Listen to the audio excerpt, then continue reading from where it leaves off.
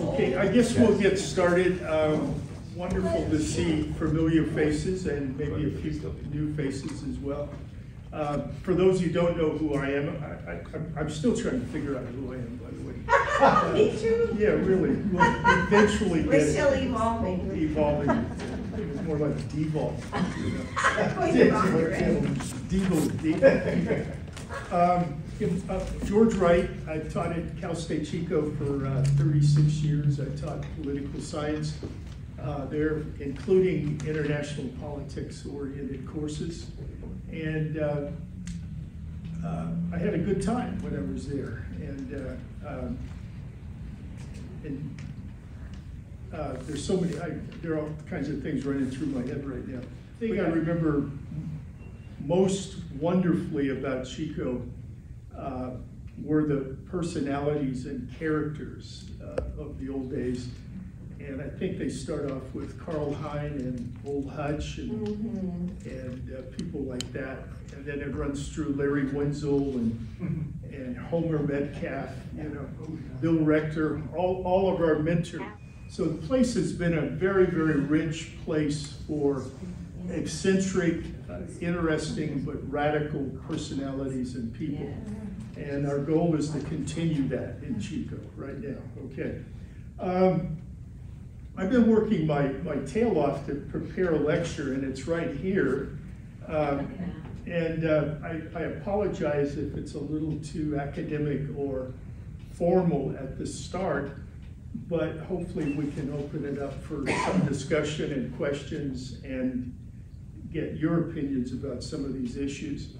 Um, the last time we met, uh, we talked about the events around Gaza, and uh, I don't necessarily want to repeat any of that information, but some of it may come up in our presentation and certainly in the question and answer period. What I really want to talk about is exactly what the assigned topic of the discussion is about, and that's to look at the United States' policies uh, related to the so-called two-front wars that are fighting at the moment, or it's involved in. Hey, Will, calm down, now. calm down, Will, come on, come on. This is an important subject. Come on, come on. The two front wars, obviously, the uh, support with, uh, the complicity with uh, Israel over its genocide in Gaza, and for that matter, the West Bank as well.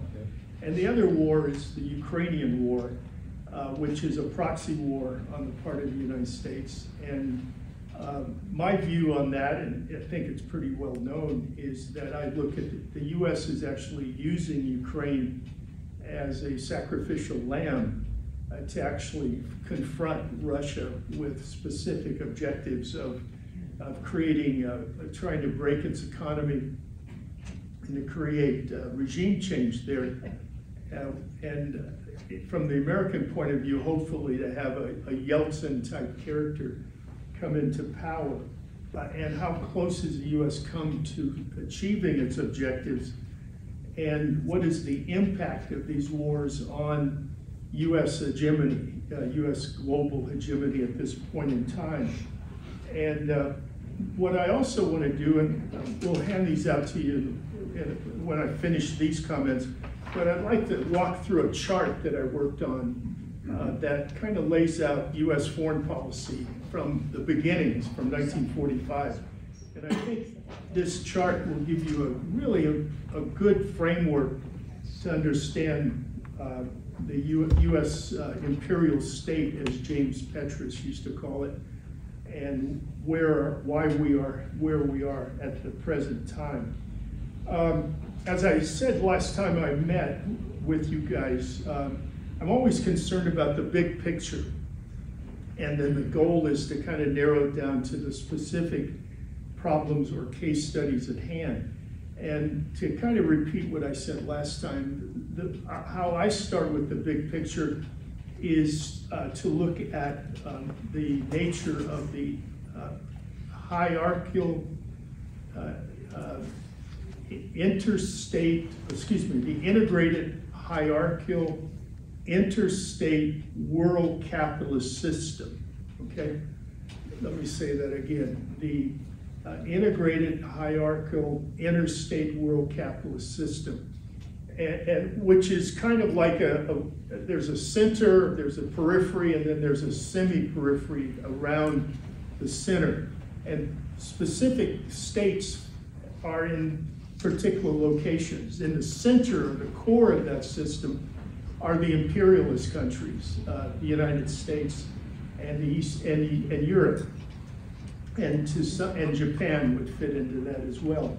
On, on the periphery are countries that have a manufacturing base, uh, but are not uh, are not on the level either technologically, fi financially, or militarily that the core countries are. And on the periphery, uh, the semi, -per excuse me, on the, yeah, that's a semi-periphery. On the periphery are countries that basically just have raw materials to provide to the core. And there's also a fourth level as well, and that's the, the so-called failed states. Those are the countries that have no resources at all and uh, are basically basket cases, cases economically and socially. Um, what we're going to propose is the U.S. military sometimes creates these states as well in its pursuit of profit. When you look at that system, what we see is that capital tend, and resources tend to gravitate towards the core to make the core wealthy or wealthier. Um, the point I want to really focus on, though, is when you look at this system from uh, 1492, when it started, when we see the first world system, uh, global world system, we see certain patterns or contours in that system. And uh, the patterns tend to be a hegemonic power in power. And it is hegemonic because it has the most powerful military it has the most dominant economic plant, and it also has uh, the, uh, the most, uh, um, it has the dominant currency, if you will, and also it has the moral high ground, meaning it defines itself as the indispensable nation, if you will, to use a current term. And this, the, the once you have this hegemon, once a hegemon exists, it has the ability to exploit um, other regions, other countries, or other territories throughout the world. And that, in fact, creates even more wealth for the core country or for this hegemon. But what also happens is at a particular point in time, uh, that core country is challenged by a emerging state uh, that has new technologies, uh, more effective uh, industrial or economic plant. It develops an effective and maybe even a competitive military. And what we see are challenges that the competitor state has to the hegemon. And what happens is what I like to refer to as a fault line. And along that fault line is uh, competition between the hegemon and the competitor state there's rivalry between the two forces, and then there are wars between the two forces. And the patterns tend to be Portugal, Spain, uh, eventually, uh, Britain and France fought for quite a long time. And then we see in 1815, we see Britain become the dominant hegemon. Uh, its Pax Britannica lasts throughout most of the 19th century. And then the second, the last quarter of the 19th century, we see the rise of competitor states once again, uh, the United States, Germany, Japan, uh, etc. And then we entered a 65-year period of warfare. And by 1945, uh, that period ends and the United States comes out of uh, that period as the next hegemon, okay? And uh, it carries out policies to further that interest. What we're kind of, what we want to propose is that in 1991, when the Soviet Union collapsed, uh, the, there was no longer a bipolar world order, and the United States found itself in a position where it could pursue absolute global hegemony. hegemony. And uh, it had access now to areas of the world, resources of the world that it had not had prior to 1991. Uh, what we see then is instead of a bipolar world, we have a unipolar world order. And the United States pursues this uh, objective from 91 up until somewhere between 2001 to 2014, maybe 2017, the 2017, the world tends to change. And what we begin to see somewhere between 2001 and 2017, the rise of competitor states, once again, to US interests, okay? And those competitor states are China, as well as uh, Russia, and perhaps Iran might fit into that as well. And so what I want to propose is that we're living in a period where there is a shift from a unipolar world order, which means a relative decline of US hegemony into a period of multipolar, a, a multipolar order. Now, we haven't, at one level, uh, we've reached that stage, but there is, the stage is not stabilized because there's still along this fault line between the United States as the hegemon and uh, these competitor states. There are competition, rivalry, and warfare. And what I kind of want to propose is that the uh, Ukraine war, as well as the uh, war in Israel, fits on this uh, fault line. And depending on the results of these wars, will determine uh, whether the relative decline of the United States will accelerate or whether the U.S. achieves its objective as being the, uh, the uh, achieve the objective of being an absolute global hegemon. Um, I'm trying to improvise all of this kind of stuff off the top of my head. Um, there's that's so that's the first point we want to make. The second point is understanding uh, this situation today. We need to look at historical context. Uh, we, we can't understand political events that happen without situating them within the a, historical context. The, the events of uh, October 7th, for, example, for example, when Hamas attacked Israel as it's been described, has been presented to us by the corporate media and by the US government, and for that matter, the Israeli government, and many of its collaborators in, in Europe, is that that event was unprovoked. Well, we understand that you can't, it, it wasn't unprovoked. There was a context to this, uh, to this episode. And so um, uh, I think it's very, very, very important to uh, recognize, to use the to implement uh, this idea of historic con historical context to understand political events. For some reason, I'm, I'm, a little nervous today. You guys are just looking at me. And it's, it's kind of We're longing to hear it's, more it's, information. It's, it's kind of it's a funny feeling. I'm sitting at home in front of my computer, and then there's all these human faces here. You know. Um, maybe what we can do to, to change this, maybe we can get George. You can get a little relaxed here. I very seldom get nervous, by the way, in front of a group. So. Uh, it, you were a little nervous yesterday. Huh? Children's Park. You were a little nervous then. Well, I, I, I have been drinking too much wine, maybe. That's, um, okay, I think I'm, I'm, a little calmer now. Okay, now, well, we a, a couple points here. Let's get back. Let me use my notes rather than talk off the top of my head. Maybe that's what we need to do. Um, related to this historic context, uh, the, the, the there is a political event and it has to be examined within a political context.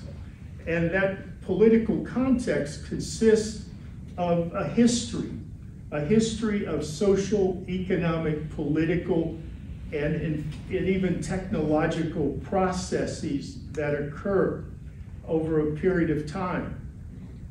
Those social, economic, political, and technological processes also are combined with uh, human agency, uh, when meaning that uh, President Putin on February 24th made the decision to intervene in, Yugos in, uh, in U Ukraine.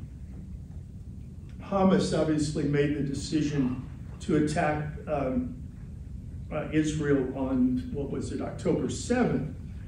But that agency was within a context of these social processes. So when we look at uh, the Ukraine story or we look at Gaza, we have to incorporate those processes. Related to Ukraine, uh, I think the most common examples are the US decision to pursue uh, NATO enlargement through Eastern Europe, all the way up until uh, the uh, Russian border.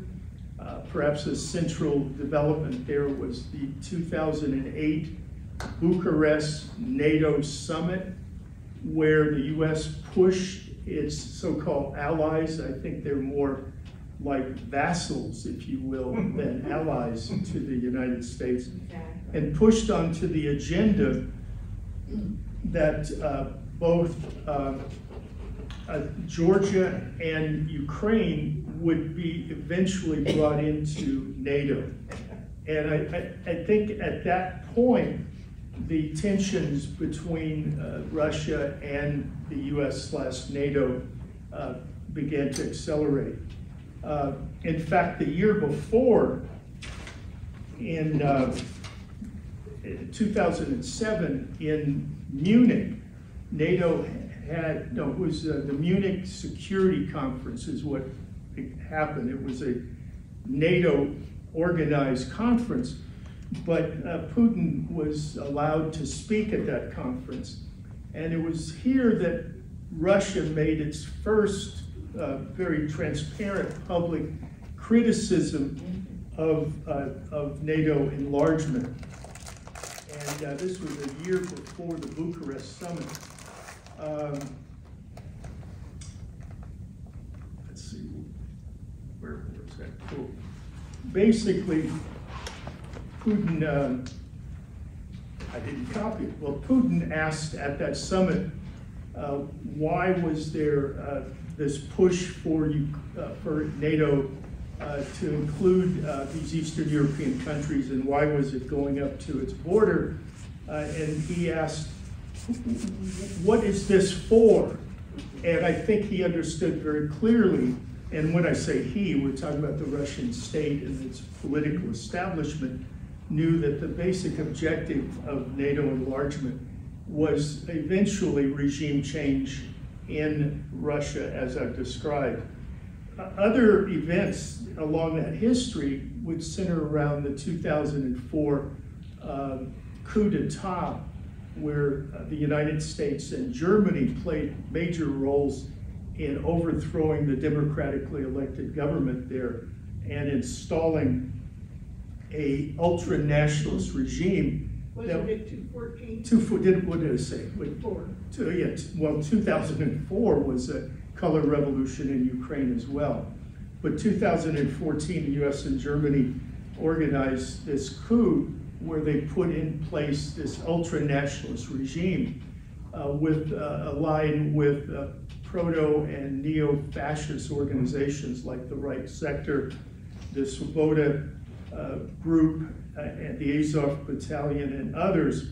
And from that moment on, they, they initiated a attack on the Russian-speaking populations in eastern Ukraine in the so-called so-called Donbass. Uh, the next perhaps event in that process was in 2015, the establishment of the Minsk agreements, where uh, Germany, France, Russia, and the Kiev regime sat down and made an agreement that there was going to be a political solution to the crisis.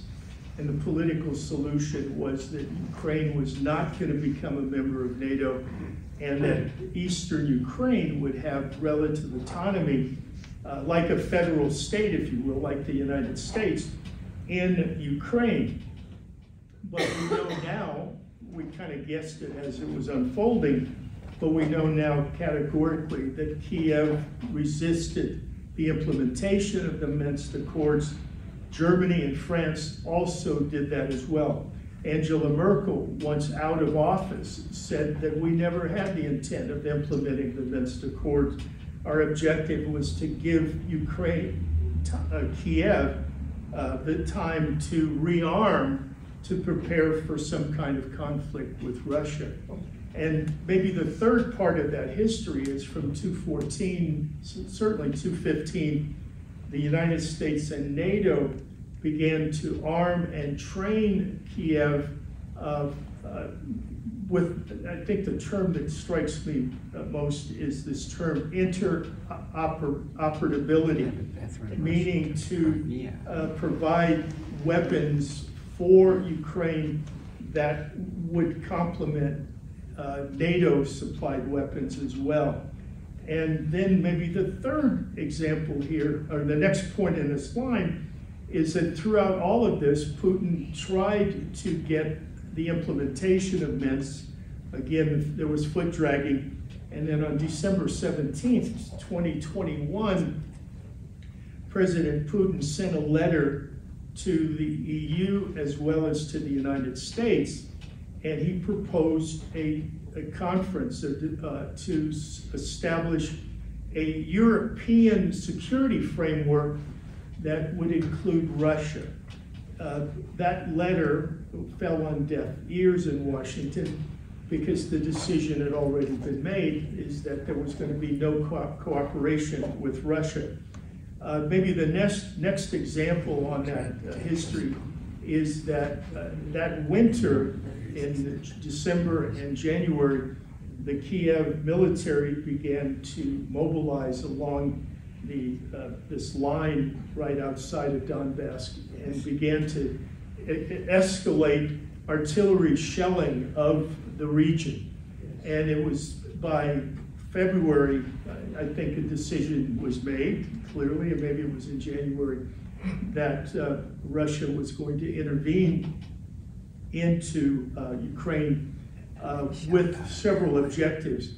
Uh, the media and our government has uh, failed to tell us uh, clearly what actually happened in this process. Uh, my, my understanding, based on my research, reading, and listening to people that I have respect for, Scott Ritter is one of those people, by the way, um, is that it's pretty clear that Russia went in with what, uh, 190,000 troops, something like that, and went, came in proximity to Kiev, not with the intent, and this is very important, not with the intent of uh, overthrowing the government, but to force the government into political negotiations to come up with an agreement that was similar, if not identical, to the Minsk Accords. And what's very, very important is that um, the, the, the, the, West, the U.S. was claiming, U.S. media was claim, claiming that this is an attempt, this is Hitler invading Ukraine with the intent of taking over Ukraine. And this is the first step towards uh, eventually conquering the west, rest of Europe and all of this stuff, you know, which is actually not actually what was happening. What the goal was uh, was to have these negotiations, and these negotiations did take place between Zelensky and uh, Russia, or the Kiev government.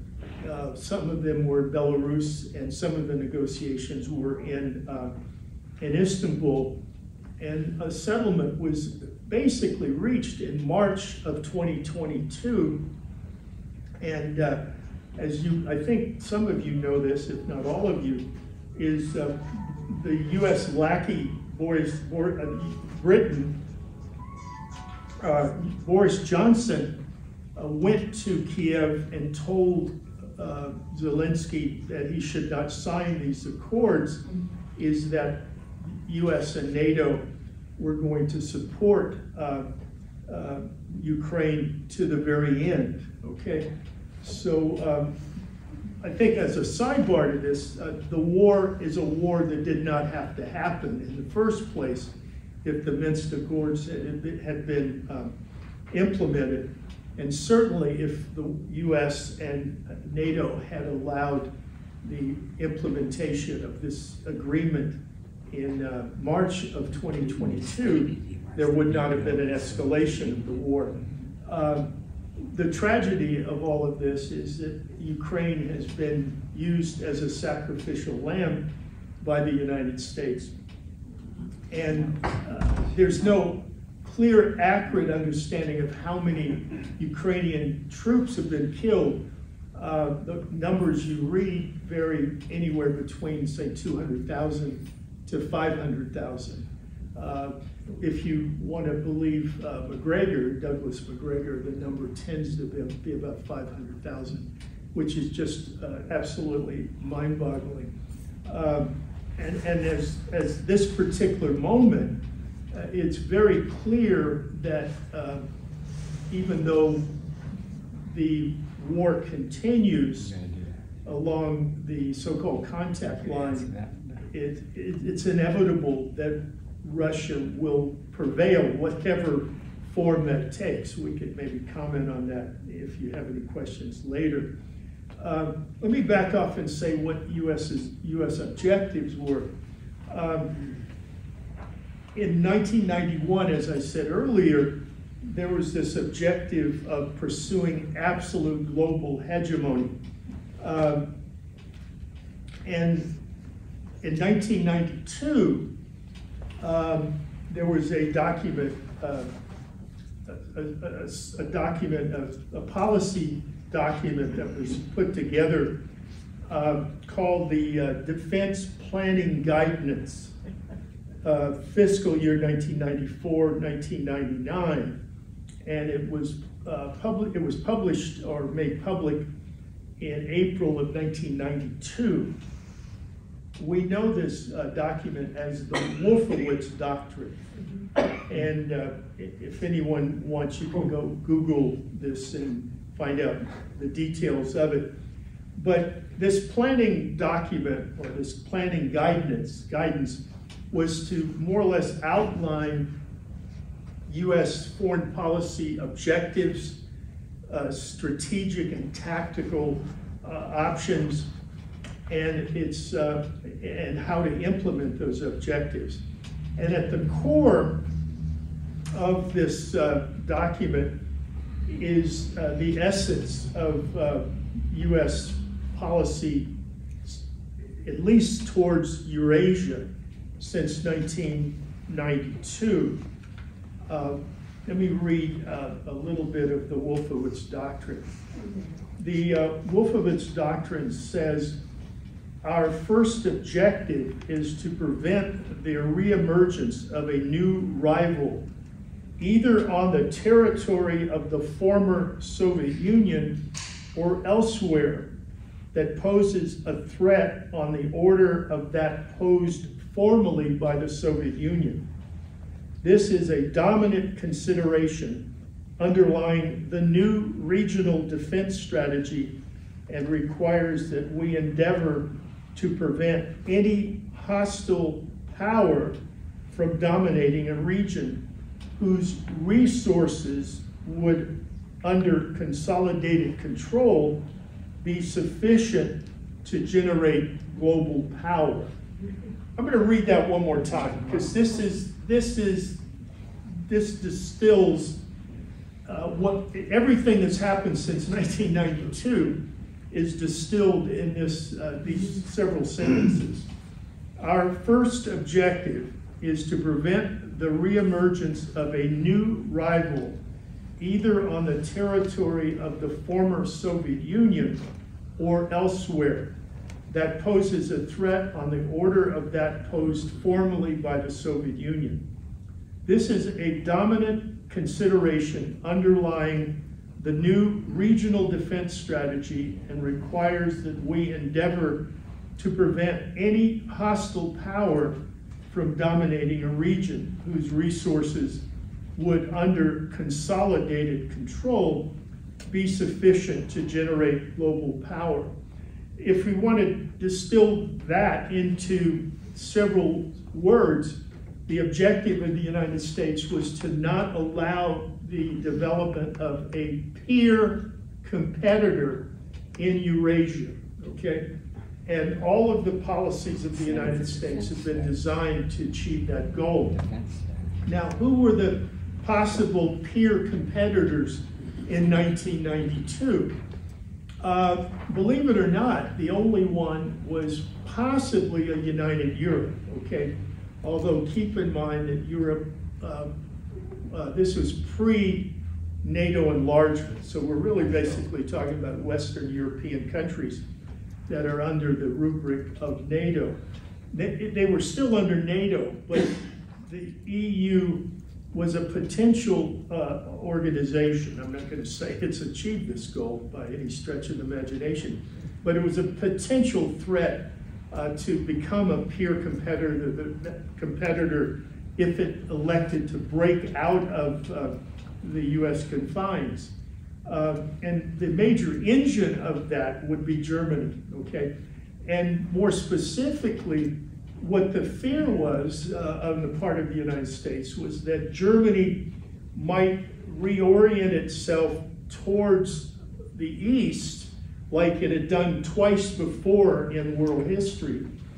Uh, World War I on the part of the Kaiser and World War II on the part of uh, Hitler to try to gain access to markets, raw materials, etc., in Russia or the Soviet Union.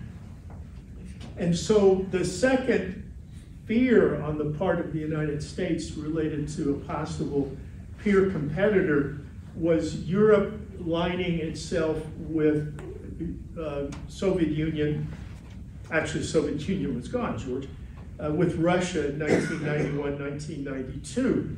And if that would happen, then that would be a power that might even be more powerful than the United States economically and, and, and militarily as well. Um, so, uh, but by the way, to kind of update this, uh, uh, actually, I'll, I'll, say it another way. So the second, the next major possible peer competitor would be Russia. But in the 1990s, Russia was very weak, okay? Uh, with the disintegration of the Soviet Union, and Russia becoming the successor state to uh, the nuclear arsenal, the military might of the Soviet Union, and various economic resources. Uh, the, there was a possibility there, but Russia, during the shock therapy that the US and Europe implemented in Russia, the relative control that the US had over the Soviet Russian economy, excuse me, and the um, uh, collaboration, if you will, with these new oligarchs that were being formed in the, this process of privatization and shock therapy. Uh, it, was pretty well felt in the night, and then you had Yeltsin, who was basically a comprador uh, leader, meaning he was in the U.S.'s back pocket.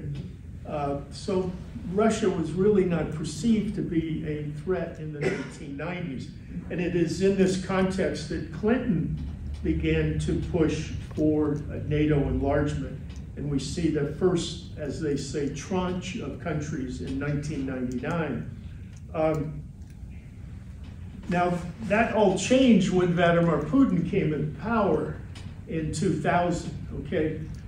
Not that Putin was a monster, but, uh, and he isn't a monster, by the way, just point of information. Um, uh, That's a joke. He's murdered, murdered people, and he can't be trusted. And and and democracy.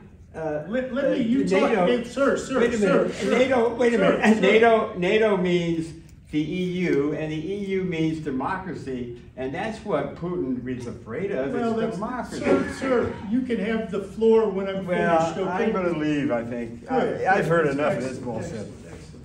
I mean, you're, you're really out of, out of it. I'm sorry.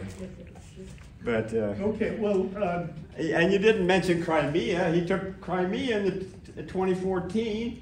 You know, he can't be trusted. He sent in his undercover agents, no uniform. I mean, come on.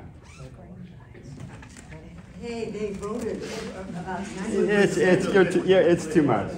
I can't take this. You're distorting the history. It's, it's. It's called, re- it's called revisionist history, sir. Um, I'm not gonna say it's the truth, but it's, yeah, never mind. Um, So, um, in nineteen ninety-nine, Putin came, was, was selected by Yeltsin ironically, and then was elected president.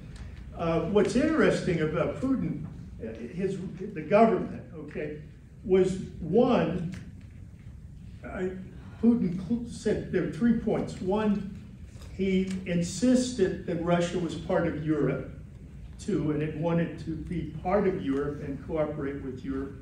Secondly, uh, Putin actually lobbied to have Russia join NATO, okay? uh, Which many people don't know. And obviously, that was something that the United States wasn't gonna entertain at all. And thirdly, and this is always the reason why the US targets countries for destabilization and covert or overt intervention, is that in contrast to the 1990s, the Putin government uh, demanded that the West respect Russia's national interests and respect its national sovereignty. And fourthly, that the Russians were going to control their own economy and not be linked and, and trapped by the United States' uh, neoliberal agenda and the uh, policies of the IMF, the World Bank, and all of these institutions that actually create indebted, indebtedness to countries that are trapped by this apparatus. And I would argue that was his biggest crime, was demanding that uh, Russia controls its own economy. So by 1990, 19, no, uh, by 2003 or four was, was when I began to see the beginnings of the demonization in the media of Putin, which obviously continues to this very moment. And this young man uh, just left, or old man, I guess, uh, it, w- is uh, still subscribes to this view.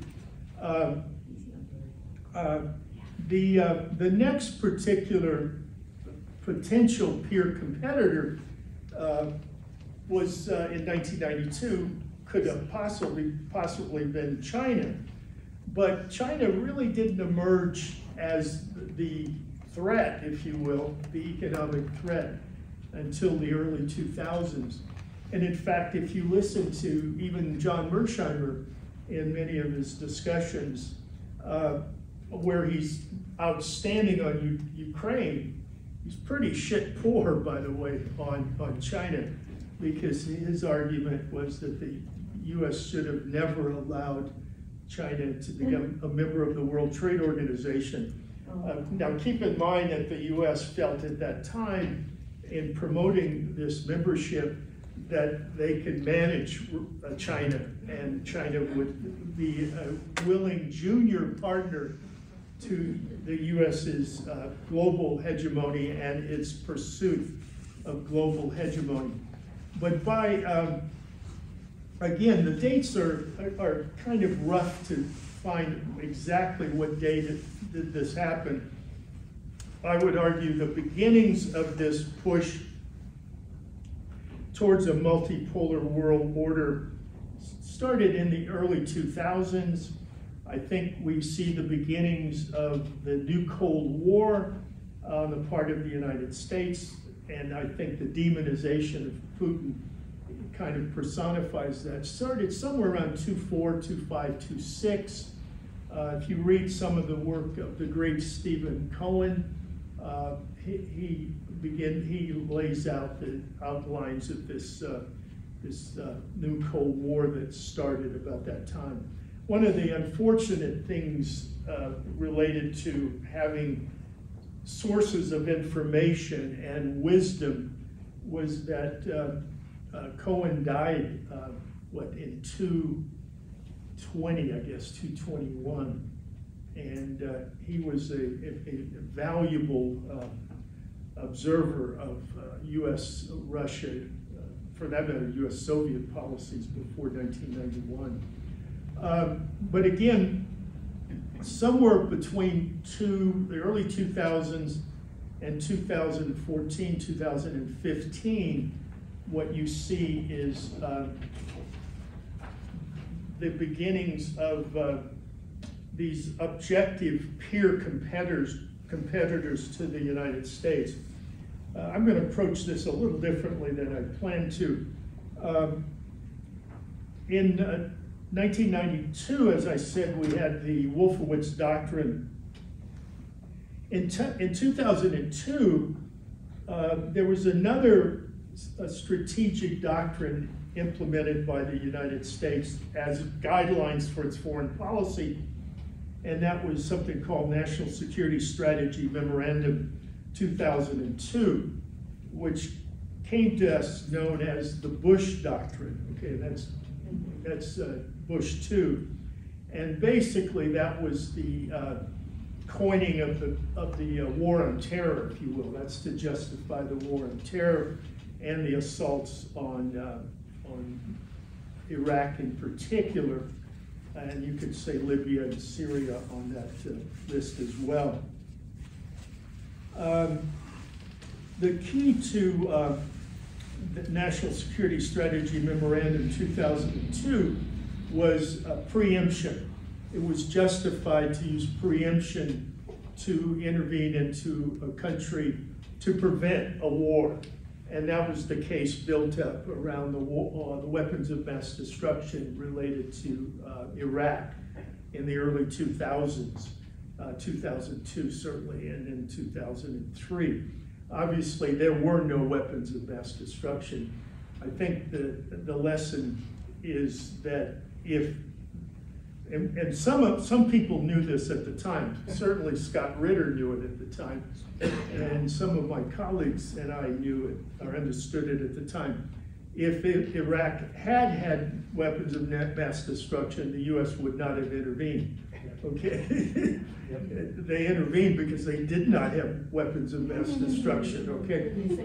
Which is why, uh, you know, some countries want weapons of mass destruction, and that's to be a check on US intervention.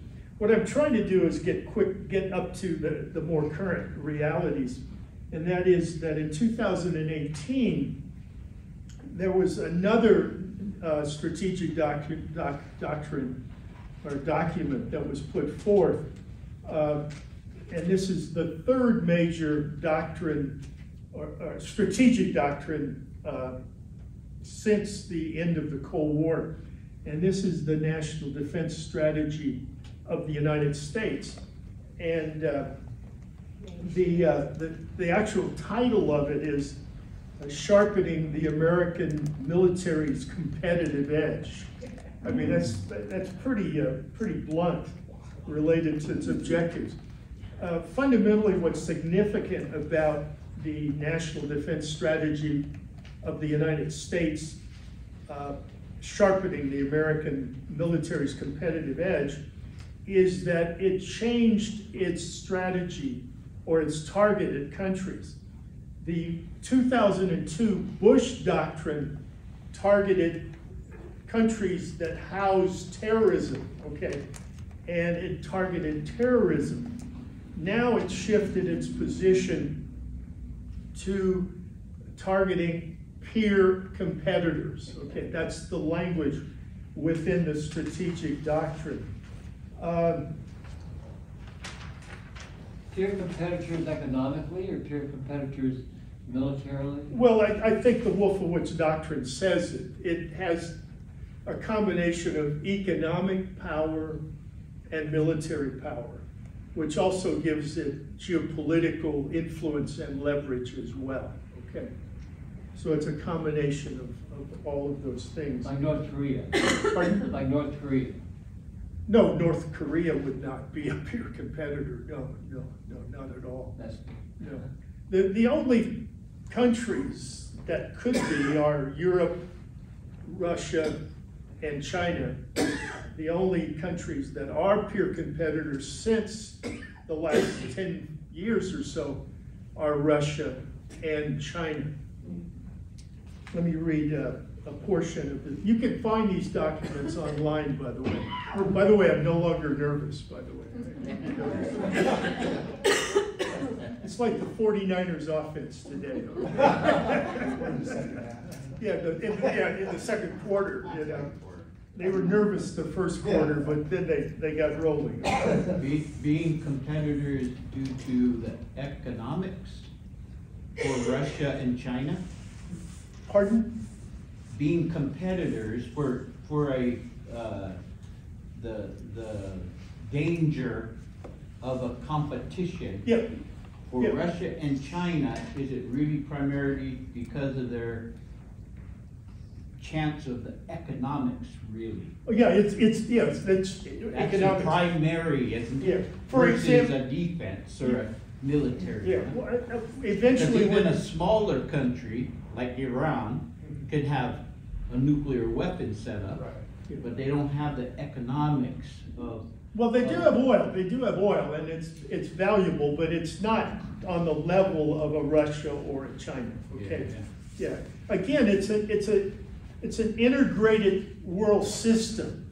And it, it- and it's a very fluid, dynamic process as well. The, the obvious is, uh, you know, the contours we've already described. The US is the hegemon at forty-five, bipolar world, ninety-one, unipolar, now multipolar, et cetera, et cetera. It's a very fluid world as well. Um, the- we're gonna get to the Middle East eventually in this discussion. And what, what we're gonna talk about is, uh, you know, the Gaza war. Oh my God, I wish I could start this right now, but I wanna continue this to get to that. I'm gonna continue this and get to that, okay?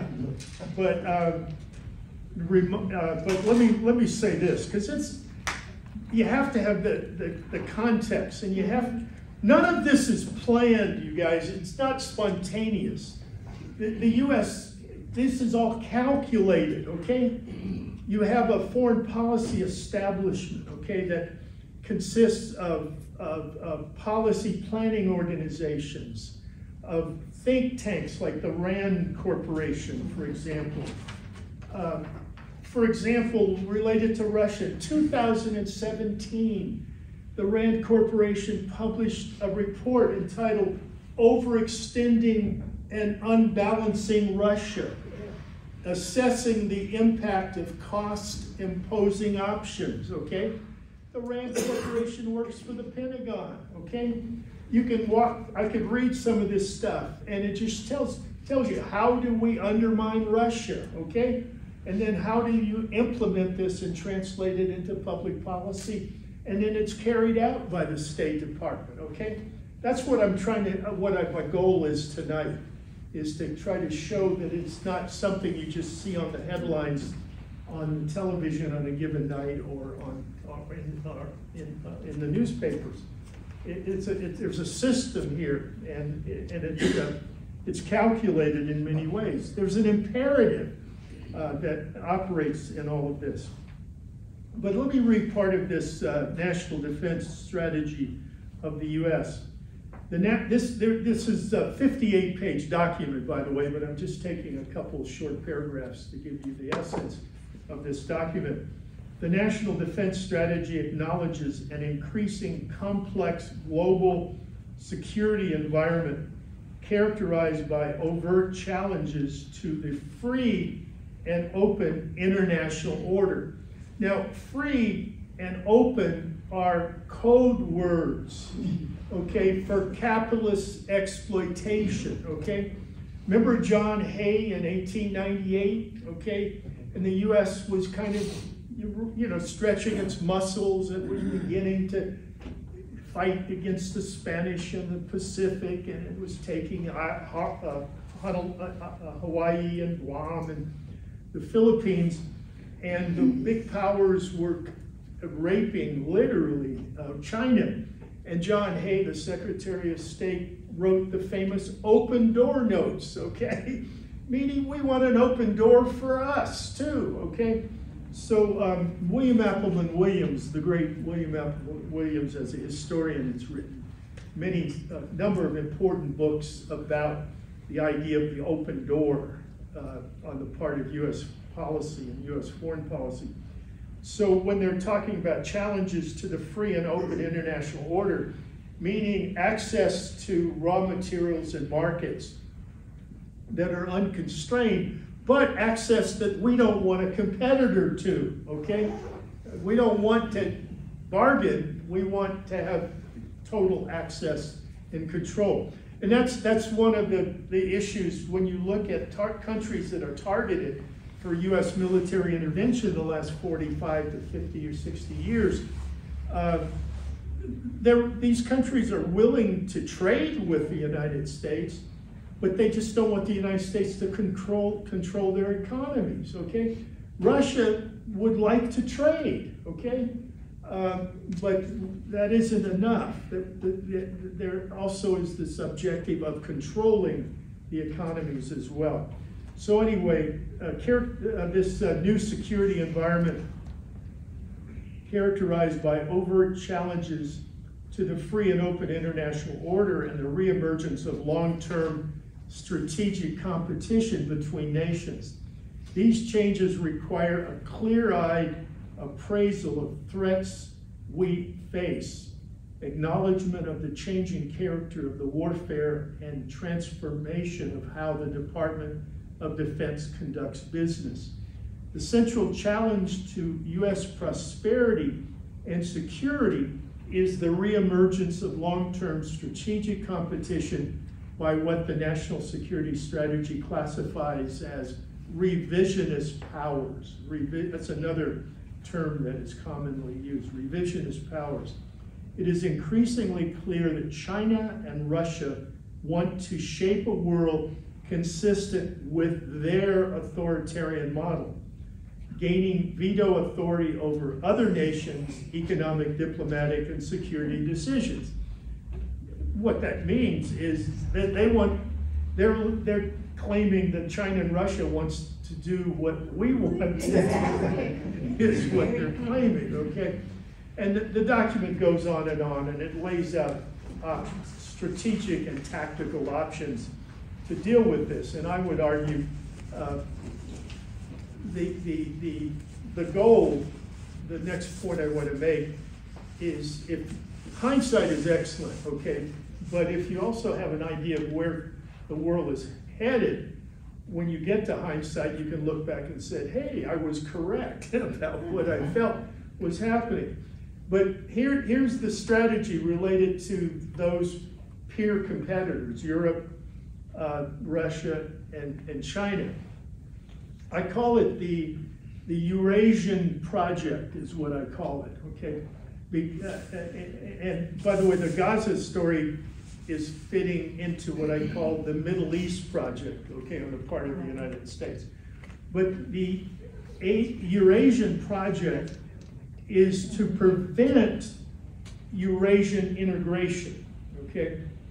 And over the last over the last 15 or 20 years, the engine, there are two separate interrelated engines of this integration. One is the Chinese economy, okay? George, I'm so sorry. Yeah. Could you repeat that? It's to prevent the uh, Yeah, to prevent the Eurasian- integration, Okay, okay? Meaning the integration of, uh, of uh, the Eurasian marketplace, its infrastructure, whether that's uh, transport or whether it's telecommunication, and obviously integration of political, cultural, and social cooperation as well, okay? Okay, pardon? But they've done that. Who's, who's done that? Eurasia has, has done that? that. That's what I'm, I'm, I'm gonna say that, yes, yes. It, it's, it's already underway, okay? Yes. And, and it's making great headway as well, un- uh, driven by China. The other element of this is the energy sources, natural gas and oil that exists in Eurasia, particularly Russia and areas around the Caspian Sea as well. So uh, the, the goal of the US, by the way, this, uh, excuse me, this integration uh, driven by the Chinese has to do with the Belt Road Initiative, or, uh, which is a infrastructural project to integrate uh, Eurasia all the way from Vladivostok to Lisbon, okay? Uh, Rail uh, and maritime linkages, as well as uh, broadband and telecommunication. Uh, Also, uh, uh, development banks like the Asian Infrastructure Development Bank is a project, is an example, which is a counter hegemonic institution to the World Bank, which the US controls, and the Chinese control this bank. The difference is on the World Bank or the IMF, when loans or grants are provided, there are concessions that governments have to uh, implement to enable them to get the loans or grants. For example, if the World Bank is gonna loan a country in the third world a certain amount of money, they have to promise that they're gonna privatize their infrastructure, their, their irrigation system, their water services, their transport system, et cetera. And who are they gonna provide, privatize those systems to? US or European corporations, okay? So the US corporations or the European corporations will own the infrastructure and, and facilities and services in those countries. The Chinese are not re- requiring these kinds of concessions to these various loans. And they, the- the- their philosophy is something called win-win, okay? We'll develop, we'll, we'll build a port, we'll build an airport, uh, we'll build a hydroelectric facility or whatever, and, uh, you know, we'll trade with you, you, it'll benefit you and it'll benefit us in the long haul, okay? So, these are things that are happening. The, the Russians uh, have uh, a Euro, a Eurasian uh, uh, development bank as well that fits into this, this structure. Um, uh, And, and then you have the BRICS, uh, the BRICS structure.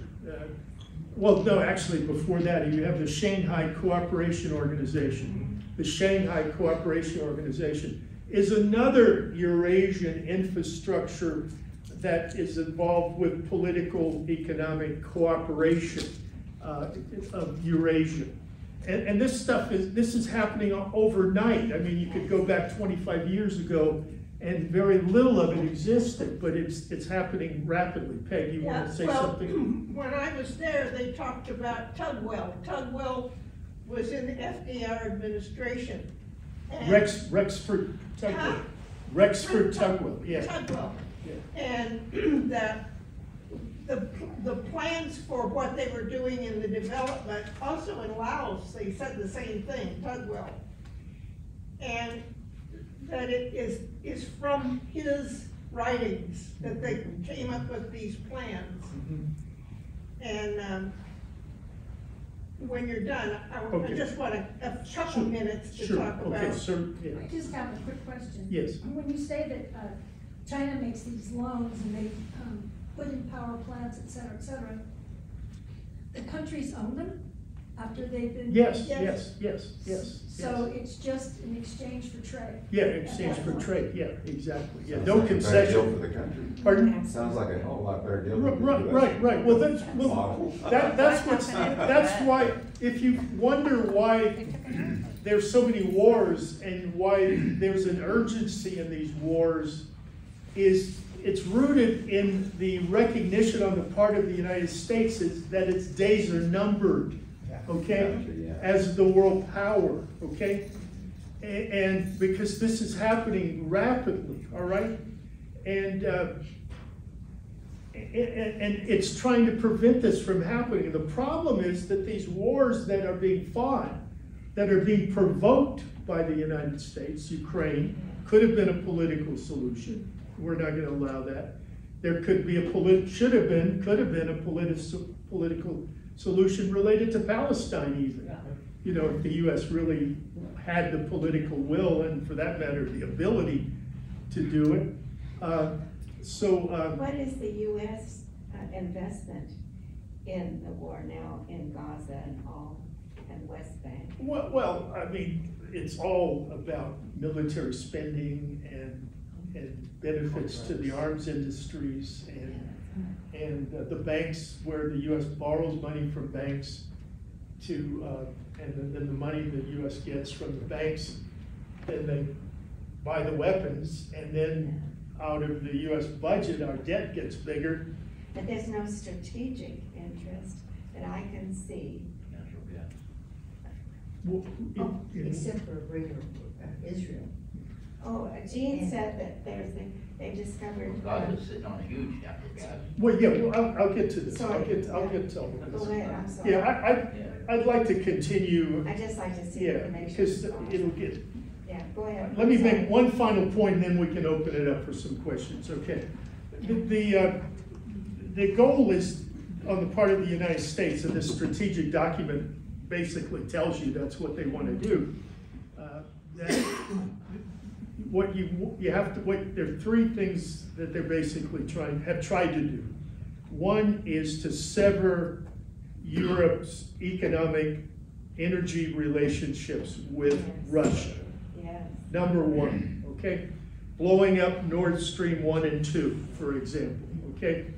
Forcing Europe to put sanctions on Russia because they intervened um, into Ukraine, et cetera, et cetera. So that's the first objective. I, uh, and part of that objective is uh, political and economic suicide for Germany, okay? I just spent a month in Germany last summer, and I can attest to you the conversations I've had with people about what's actually happening in Germany.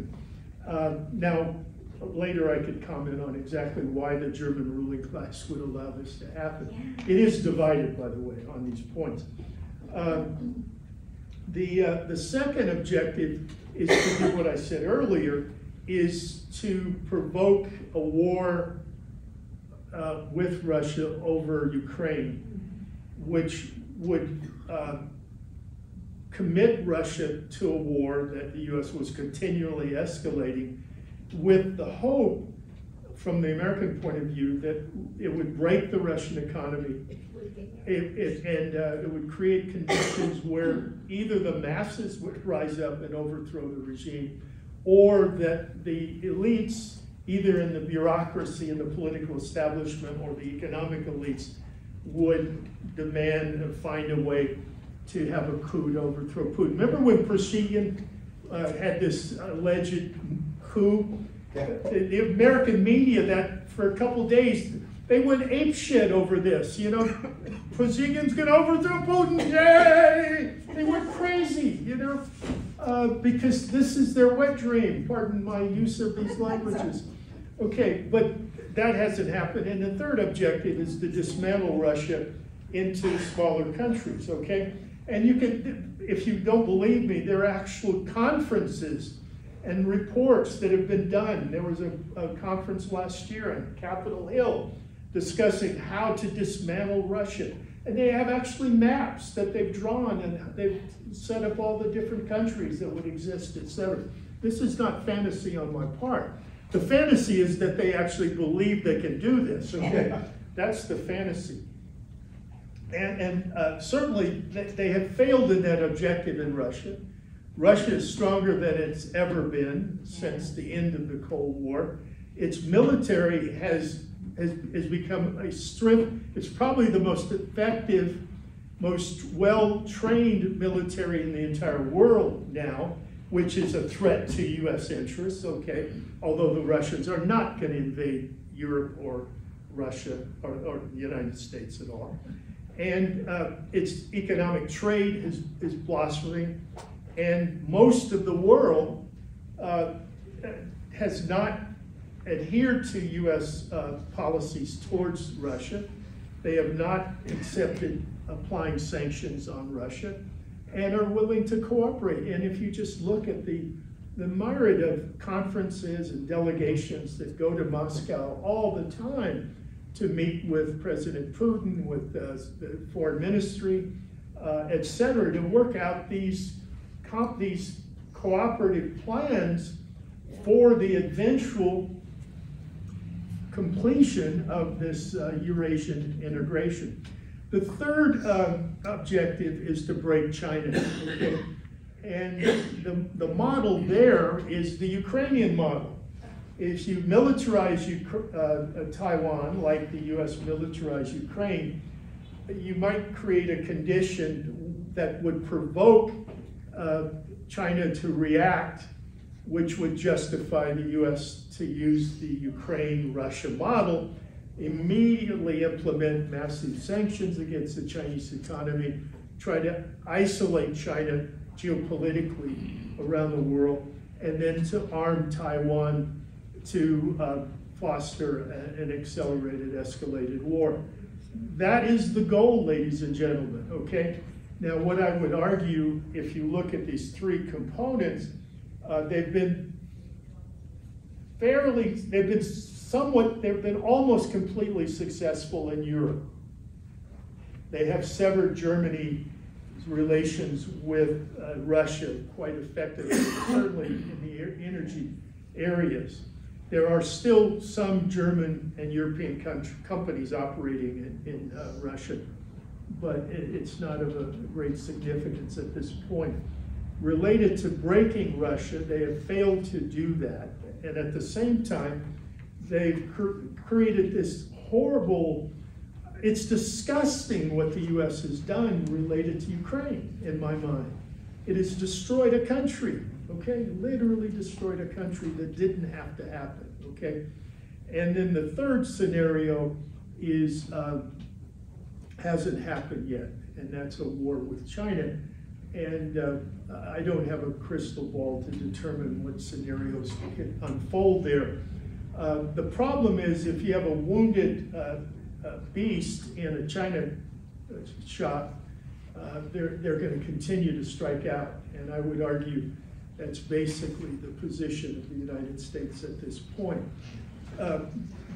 Oh, the, the, the interesting re- development there, though, is, and I, I commented on this uh, last time we met, is that this war over Gaza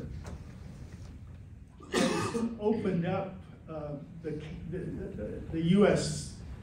The, the realities, the reality of U.S. foreign policy uh, globally, and it's also uh, split and ripped, ripped open the Democratic Party, and for that matter, even the Biden administration and members of the executive branch. And so I do not believe the U.S. is going to turn its stripes by any stretch of imagination. But the domestic political scene has been affected by this quite, quite dramatically as well. Okay, um, Interesting. a couple, you had a question and then Stacy.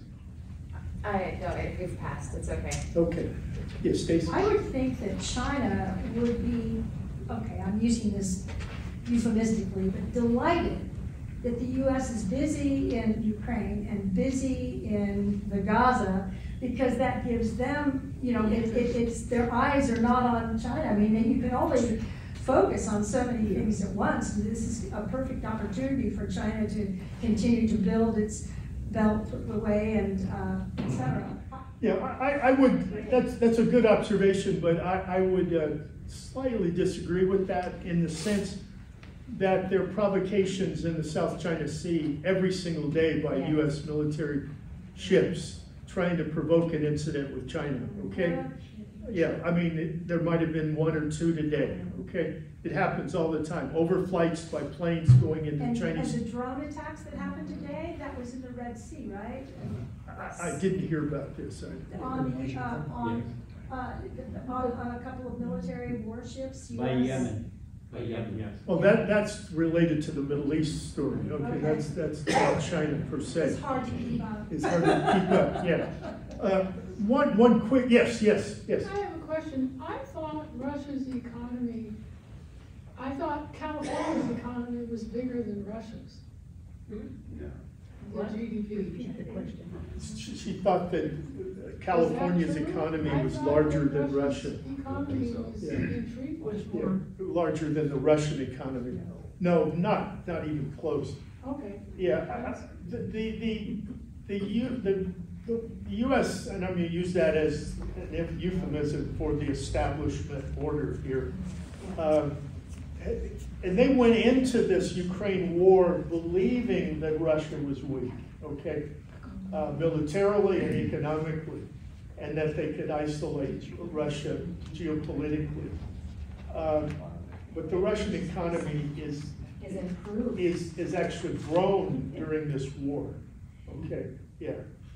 Yes, I'm wondering uh, why, what our connection is that's so powerful with, with Israel, especially, uh, you know, they can even, uh, control, or attempting to control what students are doing when they demonstrate against what Israel is doing, and of course, we know that that's called anti-Semitism, which we know it isn't. Uh, but, um, you know, we say how awful it is because, you know, we think that Russia might be interfering in our government operations or China, and yet we, Russia, pretty, Israel rather, seems to pretty well control us. And, um, yeah, well, it's true. It's so true. how is it that they have so much power over us? Well, it's called money, and it's called blackmail and intimidation, it's, it's, it's called running the candidacies of, cam- Yes. uh, uh, Yeah. candidates for political office, Yes, and uh, holding them up for economic and personal Yeah. uh, blackmail. I mean, it's a whole mafia-run apparatus, okay? Uh, I'll, I'll sh- show you, uh, as a sidebar of this, I, I can no longer support the Dallas Mavericks because I heard this week that the Adelson family bought the Dallas Mavericks from Mark Cuban. Oh, really? Oh, it's sold. For three point five billion dollars, yeah. wow.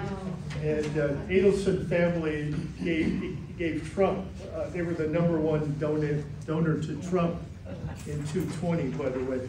Um, Also, why do the German, uh, German government, why do they continue to, to, uh, go along with us? Because we just really hurting their industry badly with, uh, you know, bombing, uh, destroying the, the, the, um, pipeline from, so what you, you said you were gonna talk about. Well, there's, there's a couple factors. One, Germany is an occupied country, okay? There's, uh, I think, thirty thousand US troops in, in Germany, okay? So it's, it's, it's a semi-colony of the United States on that level. Uh, Certain economic interests, basically in the area of finance capital. So the split in Germany is between finance and manufacturing, okay? And, and so finance is linked to the transatlantic uh, project, which is the the US uh, project that we've been describing. The manufacturing interests would be more willing to be cooperative with Russia. Under Merkel, they were able to walk this tightrope Yes, where with the war in, tw- you the Ukraine war, the lines have been drawn.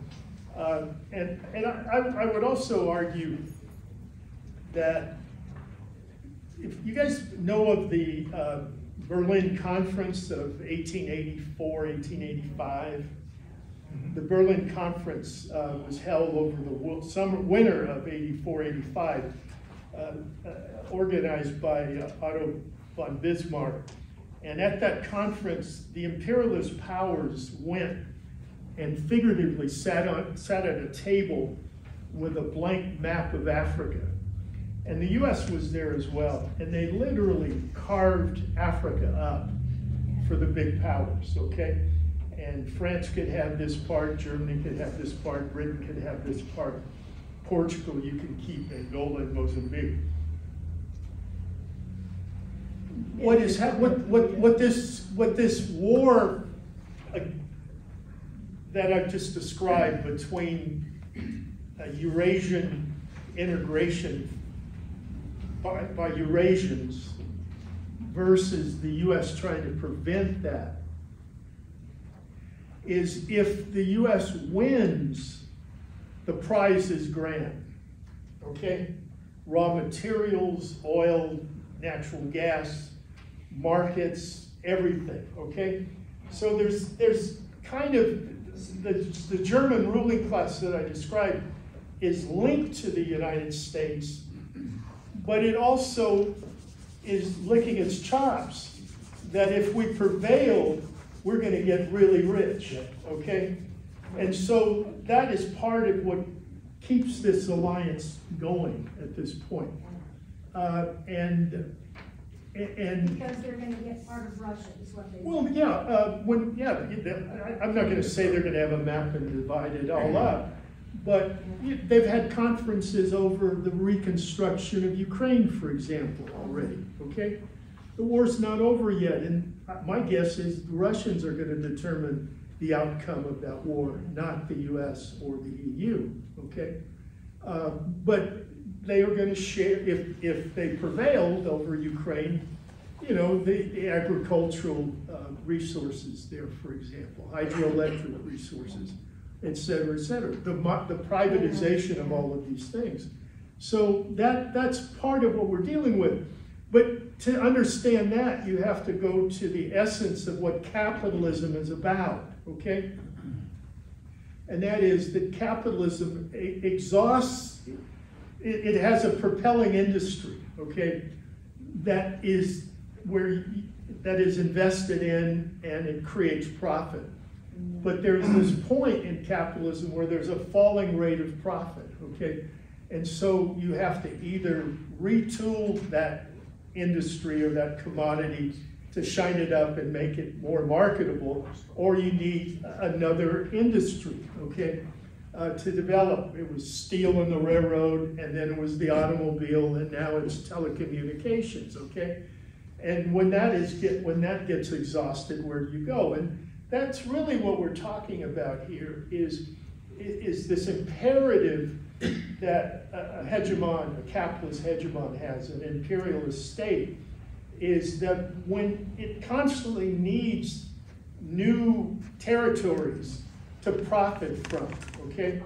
And, and that's what drives the war, is what, I mean, there are many other factors, obviously, the arms industry, you need a threat to manufacture weapons and all that. But it's really about the, the, the need for new investment opportunities. So if, if China were to become the new hegemon, what would be its, what would drive it? What would keep it there? Well, first of all. Well, it is a capitalist system, but it, it, it's a different form of capitalist system, i- even in a cultural sense, okay? Uh, I- I- This isn't exactly the way to answer the question, but uh, back in ninety-one, I went to Tokyo to see the World Track and Field Championships, and I had a Japanese student at Chico State, and she invited me to come to her father's house, parents' house for dinner. And her father was a big-time capitalist, okay, he was an import-exporter. And I had a wonderful evening that night, and after the dinner and, and the drinks, we sat around and talked, and he asked, how come your country, you go, if you don't get a profit with one quarter, you're gonna leave, you know? We cultivate markets, okay? And we take time, we take losses before we get profit, et cetera. So it's a different kind of capitalism. And again, as, as the Chinese say, it's win-win. Uh, in the short haul, we might not make a big profit, but if we have stability over a long period of time, we're gonna continue to make profit in all of this. But American capitalism doesn't function that way. It's, it's a greedy capitalism as well, okay? Um, But the point I want to make about uh, China as the next hegemon, I don't think China has the aspirations to be the next hegemon. I don't think it wants to be the next hegemon, and I don't think it has the, uh, the, the, the, uh, the. the- Greed. no, no, the wherewithal, the, I mean, the, the military and the ships and, I mean, China had a, po- when was it, uh, fourteen twenty-one? China had the possibility to be the global hegemon. And, and it just went back home and tore its ships up, you know? I mean, that's a different kind of worldview is what that It's is. Confucian. They, they, Yeah, they're Confucian, yeah, Confucian. exactly. How, how does democracy fit The into all first time? I, I ran into Chinese, quote, imperialism was in Kyrgyzstan. They were already getting oil from Kazakhstan. I mean, they even have a small border with Kazakhstan. And that was when I first ran into this weird little thing that had Tugboat's picture on the front, but I couldn't read the inside because it was in Kazakh and Kyrgyz. And basically, it was read for me and it said, it, the pa- the pamphlet was called Even in America. And it described, if we make you wealthy and if we pull you up to a good, you know, a producing country, mm-hmm. it's good for us. And I saw, when I went to Laos, they're afraid of China, but same, the same, the same bloody pamphlet in Laotian with Tugwell's picture on You're kidding. Even America, and they built roads, they built fast train lines, China has. And schools and medical centers, everywhere they go, they build medical centers. And at first they send in Chinese doctors and then they train the, train the local people. When the Americans went into Kazakhstan, this was under Yeltsin. And we, we privatized everything. I mean, we had all these guys coming, Rubin, all of them. And they privatized the, the, uh, utilities, unheard of. You know, people were freezing, they didn't know they had to pay for the, for the utilities, never had that. They privatized the hospitals, and that, and they took away the social security. And I saw people in, in Bish, Bishkek, women out there begging for money, and I, one woman that I used to give money to, she keeled over and died in the oh snow. And I was still in Kyrgyzstan when Putin came to power and Yeltsin went out. I don't care where he got his money. It took him less than a week to reinstate social security. And the rumor was he used his own money. I mean, people were dying because of this, and, and they hated it. The individuals hated it. Whatever capitalism is, we don't want it. And so that, that was the difference. But I mean, this weird pamphlet with talking. Good old, good old Rex. Uh, Yeah, yeah, but would you Um, restate your question? Yeah, um,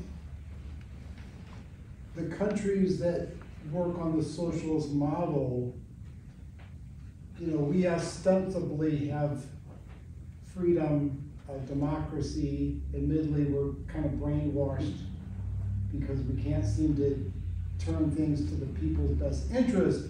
But I don't see these countries like Russia, China, really people can dissent in a way that's safe.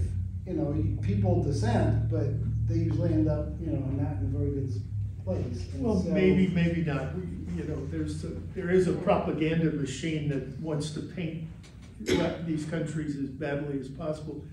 I went to the Soviet Union in nineteen eighty-three for a couple of weeks, and when I got back to LA, my mother, who was still alive at the time, I said, Mom, I went to the Soviet Union. She said, well, what are you gonna protest if you live there, you know? You're gonna have to find something. The- the- Huh? No, she was just kidding, I'm kidding. Uh, The, the issue of democracy is, is a loaded issue, okay?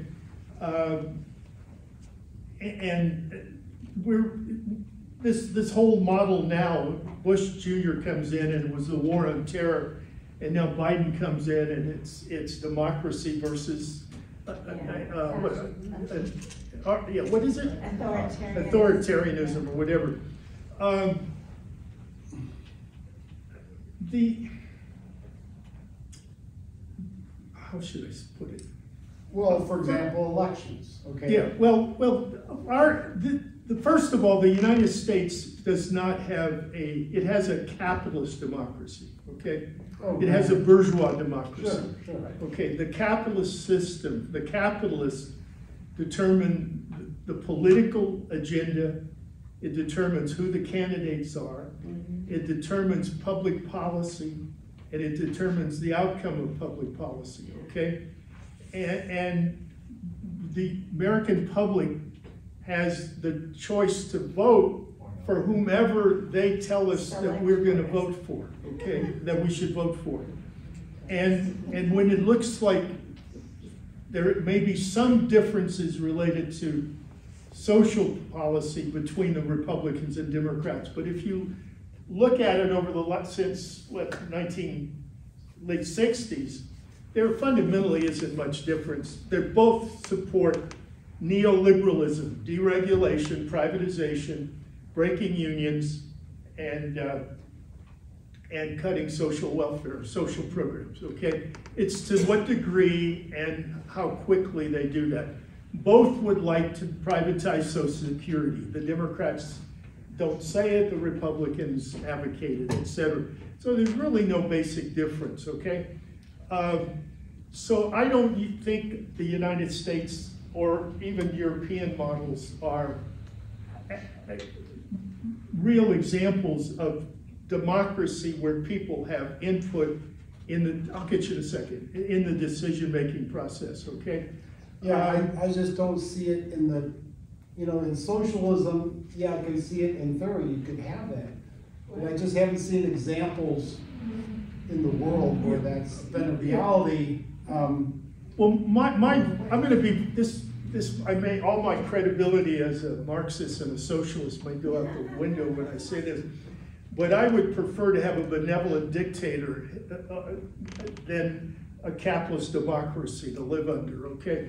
Um, Because what it's really about, I think the next point I want to make, this may make it clear, is these so-called socialist countries or capitalist countries, part of why there is the kind of controls that have existed in these countries is because these countries are being targeted by imperialism to be overthrown.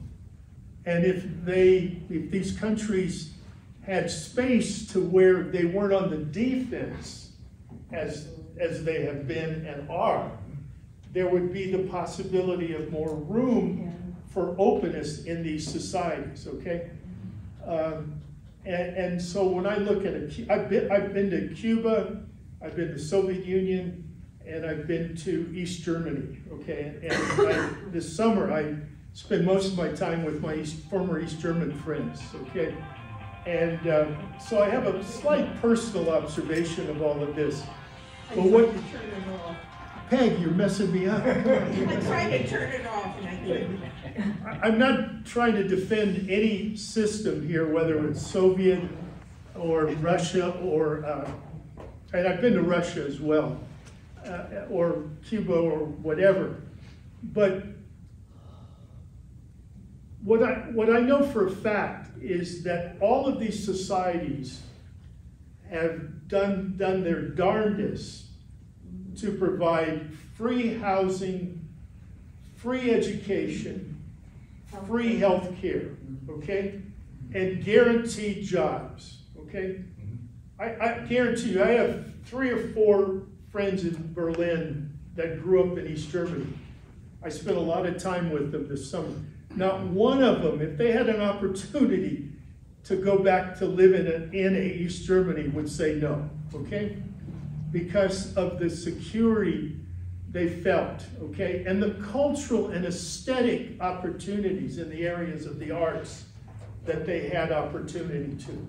Now, they will tell you that at home they would criticize the government, but they would not at a restaurant talk too loud about the government, okay? But basically, that they knew that they weren't going to go in the streets and demand that the government be overthrown, okay? But they didn't really have any material reasons for that, okay, to want the government to be overthrown. The problem, and and I was kind of there when this all happened in the late, uh, in, in, in the late 80s and 90s, is uh, in some ways the irony was that uh, the goods in the West just were shinier, okay? Uh, I used to tell my East German friends if they'd only put in a Costco in East Berlin, there would have never been a revolution. Okay, because all they wanted were VCRs and stuff. And I don't want to make little, I'm not trying to make a little of this, okay? This is a fundamental issue, and I think this is one of the problems of our era, this debate. Um, uh, because one of the problems that we're dealing with on a, on a big, big level is we're also facing the challenge to the Enlightenment, okay? Yes. The end of the Enlightenment, uh, anti-science, okay? And the fascism that exists in the world, and Trump represents fascism, there's no debate about that. Uh, real fascism, by the way. Uh, and, and so, in, in the midst of that, what is important, uh, and uh, I, I'm not going to say what my answers are right now, but th- th- th- this, these, these are parts of really big questions. And, and what, how do you balance uh, material security related to uh, political democracy? Okay, Um it's it's in this country you can vote, but you can also starve to death at the same time. Okay, and how do you reckon? How do you resolve that difference? My only thing I can, after seventy-two years, is just there's no political system that's the answer. Right. Yeah, yeah. Well, theoretically, theoretically, I'll, I'll get you guys I in a mean, in second. reality. This guy comes next. Okay, The- I'm the- done. the- the- Here's where, here's where it gets into the theoretical level, and that is a S- a Stalinism versus Trotskyism, okay? Stalin believed in socialism in one country, okay? Trotsky believed the only way to have socialism is permanent revolution, okay? And that is what, that is still the big debate within uh, the, the realm of social change. And which is Gram, is Gramsci your field or your? What, Gramsci? Yeah, because someone told me that was your, Oh, yeah, I, I, where is, where is that in those two? I- Gr- Gramsci has a strategy for how to achieve socialism uh, that is, is not, Mar- uh, Leninism is Marxist-Leninism, meaning a, a vanguard political party. Um, Trotsky promotes, you know, similar kinds of revolutionary processes. Uh, Gramsci is about how to develop socialism through establishing consensus, okay? Meaning ideological hegemony. The, the, the, the reality of the United States is that we're all subject to uh, capitalist, liberal, patriotic uh, uh, ideology, okay? Consumer, uh, yeah, we're really caught up in a consumer ideology and, and a transactional ideology, okay? And, and because that's the dominant hegemonic ideology. And it's promoted on every level, media. I mean, you could turn the television. I used to, when I taught classes, uh, freshman classes at Chico State, especially in the 80s, after about three or four weeks, some kid would jump up and say, You're brainwashing me, you're brainwashing me. And I said, How can I brainwash you? I've only had you for three weeks. and you've had ten thousand commercials, you know?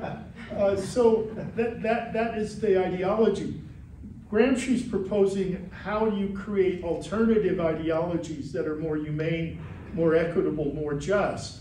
And he has a, strate- a strategy related to uh, war of position, passive revolution, all those kinds of things.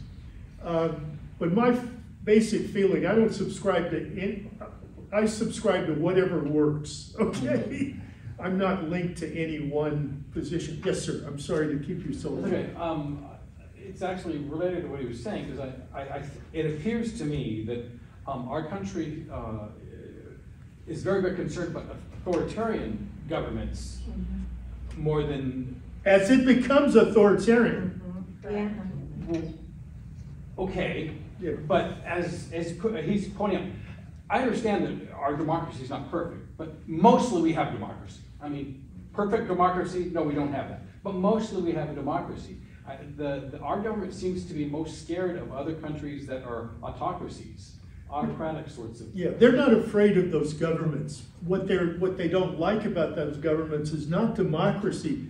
Because if we were so concerned about other countries having authoritarian governments, mm-hmm. we would not have supported all of those right-wing dictators in Central America for all those years, Or okay? Saudi Or, or the, or the Philippines, etc., or dictators in Africa. We're not against authoritarianism, okay? Keep that in mind. We're against governments that want to control their own economies. That's what we're against, okay?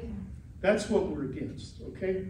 The Russians will trade with us, but we cannot control them. The Chinese will trade with us, but we cannot dominate their banking system, okay? It's as simple as that, okay? That's what, what, and we use authoritarianism as a label to justify our military uh, uh, objectives of overthrowing those governments, okay? So it, it's, it's, it's, it's, it's, it's a game, it's a trick they're playing on us, okay? Uh, uh, yes, yeah, John, your turn. I just want to respond here.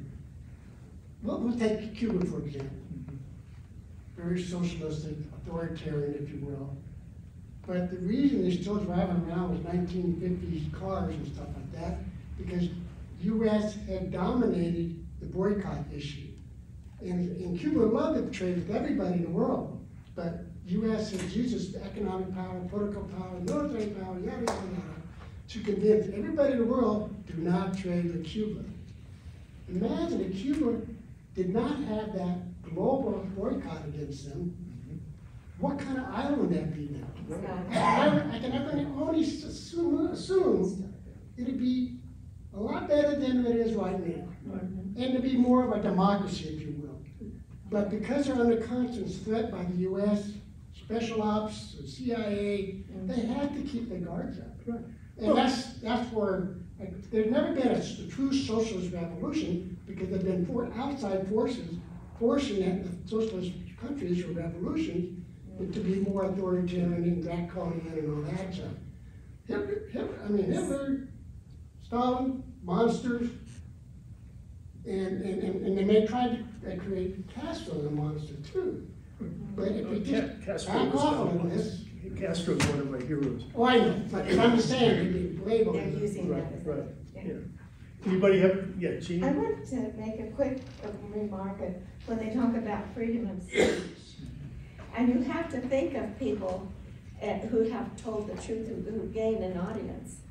And uh, you have people like Chelsea Manning and uh, Richard Snowden and Julian Assange, you know, waste, sent to prison. When they, when people are starting to hear the voices of the truth that they speak, and they don't last long, you know, they're in big trouble. Now we have students uh, that are uh, demonstrating against uh, what, what's happening in, with the Israeli government, and of course they're called, uh, you know, anti-Semitism, which have nothing to do with their gov- the complaints about the government. But now they're threatened that not even to have jobs when they, you know, and uh, the, the repression is terrible. And we go along with it. You know, we say we don't want Russia or China interfering in our politics, but you know, we- Israel pretty much runs our politics and what we can say and do around here, that's all there is to it. This is a But mon- the- yes. The other point I wanted to make is there are at least semi-socialist countries that have, until mass migration has destabilized them, destabilized them somewhat, is, uh, you know, the uh, Scandinavian countries have been very successful. And there was an argument years ago between a guy from there and from here about, you know, how we can't afford to, you know, to feed, clothe, and house everyone and have medical care. You know, and he says, well, we pay for it by feeding, clothing, housing people. We've cut down on crime so much that the money we save on prisons and law enforcement and all that is paying for all these programs. So uh, we have had relatively successful, relatively socialist countries that have done quite well. But- Yeah, oh, yeah, I stand by that very strongly, yeah, very much so. the co-editor of the American Prospect, all right, and he was talking about Peter Peterson, of the Peterson Institute, which wanted to really do away with privatize social security. And Bill Clinton was buying into this, but fortunately, Monica Lewinsky came along and distracted it. I've heard, yes. Hey, thanks, thanks for butting, John. Yeah, yeah, yeah. Yes, ma'am. I think, and I'm probably wrong, but since the beginnings of agriculture, twelve thousand years ago, it has been a war of the one-tenth of one percent against the workers. And, and I'm seventy-six years old. We fought against the war in Vietnam, the war in all of Southeast Asia, against the war in Iraq, against the war in Afghanistan, and we forgot completely about the main war, which is the one-tenth of one percent against the workers. And that's why we have so many people liking Trump. He's angry. And he, they say, he's angry like me. And they're right to be angry. In the fifties, sixties, and seventies, any job, a clerk at Safeway was enough for six, a family of six, a home mortgage, a car, and maybe a truck. And my generation has allowed it to deteriorate. Well, I, I, so don't, don't, don't take it personally, okay? I Well, mean, my generation of baby boomers and flower children ignored the real problem. Well, I, I think some, some of that generation tried to do their darndest, okay? But Not pow- enough of us. No, Well, few. well, the, the multinational corporations, the banks, the arms industry, the, the Zionists, they're very powerful, okay? And they control the media, they control the narrative. And I, I'm not, I, I, you know, I- I don't want to blame the majority of any group that's working class in this society for the responsibility of all of this. I do agree one hundred percent with you about the pro-Trump supporters. I think I said this last time I was, we had this session, I, that I spent nine weeks in Europe this summer, and I took a bunch of, this is the taxi cab story. I took all these uh, taxi cab rides, in in fact, I la- landed in London and jumped in a cab. The guy could hear that I was from the US, and the first thing he said was not where where do you wanna go, buddy? He said, what's wrong with your country? And, and I heard about eight or nine people, uh, taxi in, in Budapest and in Berlin, you know, so what's wrong with your country? And since I'm being traveled somewhere, taken somewhere, it's gonna take fifteen minutes, twenty minutes. I had to condense it all very, very quickly. And this is a response to your, your point, ma'am, is I said two things. I said in the early nineteen seventies, the US deindustrialized the country, okay? Which meant it took away living wage manufacturing and industrial jobs, and it led to the collapse of private sector labor unions, okay? Which was a countervailing force politically in this country, okay? And it shifted the economy to a multi-tiered, uh, service-based economy with majority of people on contract labor rather than full labor. And all, all you have to do is go over here to Chico State. how many, John knows all about it, how many part, Stacy knows all about it, how many part-time teachers they have, as one example in this economy. You know, to, to, uh, to, to depoliticize people, you know, and have them at each other's throats. But the next point I want to make relates to the, the Democrats. The, well, the broader point related to the second point is that that also saw the two parties as the fabric, the socioeconomic fabric, fabric of the country changed. The two parties redefined their electoral coalitions, okay? And the Democratic Party shifted its electoral coalition away from uh, uh, you know, labor unions To Republican light. to Republican light, exactly. And to upper middle class uh, professionals, Silicon Valley types, Hollywood, etc. And it gave the white working class to the Republicans, okay? And they were being captured by Reagan initially in the 80s with the so called Reagan Democrats on social issues, okay? I have a, a, a brother who is a born again Christian and he was in a labor union. But in the early 80s, we got in this big fight because he was going to vote Republican. And I said, Why are you going to vote Republican? He says, I, I'm against abortion. I said, They're against labor unions. He said, I don't care, you know. And, and so you guys get the drift of what has happened in the Single country. issues, go after single. Single issues and their social issues, their Right. wedge issues, Oh, etc. Yeah, exactly. So what's happened is, I mean, that's what's happened in our society. And, and Trump comes along as a, you know, to take full, for his ego and to take full advantage of that dynamic. Yes, The reason I hold my generation responsible is because we had, oh, I'm gonna cry. We had free education. If you lived in Davis, which I did, you could work six weeks at a dollar twenty-five minimum wage and get, uh, pay your whole year's tuition and books. it's true. Um, we all became professionals, and we, it's classist. We ignored the blue collar workers. Yeah, well, my father was a carpenter and I became a university professor for, because of free education. Yes. Yeah. Yeah, le- any other, let me wrap this up with Can some. I ask one last? Yes, you can, yes, you Uh, can. about, um, I'm asking, because Russia's military is so very powerful, uh, do, I'm questioning why that they haven't just finalized things there with Ukraine. If, or if they have, if there's some, uh, philosophy to drag it out themselves, that maybe like we're trying to, um, to, uh, harm them by keeping them in these wars, like we started keeping Afghanistan. If there's something behind it, if they, that they're, they're kind of slow walking this war. Well, I think there's three things, I think, and, and there are other- other opinions here as well. I think, one, the, Russia does not want to take over all of Ukraine, okay? Um, Secondly, they're fighting a war that they're attempting to minimize civilian deaths, okay? People might not understand that or accept that, but that is their strategy.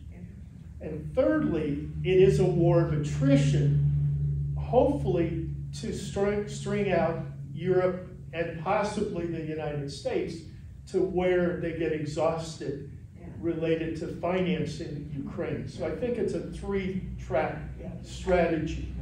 Um, there's also there's already some elements of that in the United States related to the Trump forces within Congress, but uh, and it's clear that the Democrats aren't going to win the election next November. So don't even waste any energy to try to support the Democrats because Biden's support of Israel has ripped the party apart. Okay, uh, and you know there are lots of different groups, starting with Palestinian Americans and Arab Americans and and Muslim Americans that are not going to vote Democrat because of their support for Israel. What are they gonna vote?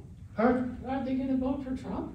No, they're not. They're not going to vote for the president. No, no. no. So is there a chance that, that an individual, I would think that that's in our system still, that an individual could run for president and not be Republican, not be, you know, independent or whatever.